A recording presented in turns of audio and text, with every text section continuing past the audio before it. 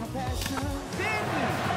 あそしてバッターボックスには飯塚が入っています。さあアウトカウントが1つ増えましたがなおもチャンスは続きます。まあこういったチャンスでできるだけ差を広げておきたいのでねここはしっかりつなぎたいですよ。うんなるほど。そうですよね。初球ストライク。さあ2球目は何か。外。インサイド落ちました。りました。ファウル。抜けていれば貴重な追加点というところでした。痛烈。またファウル。さあ5球目は何か。打ちました。スタートランナータッチアップ。